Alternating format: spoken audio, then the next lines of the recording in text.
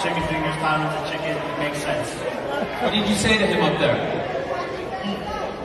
I said you're dead. That was it. Uh, I tried to grab his cheeks, but He told me on Thursday, when you look in his eyes, you see sadness.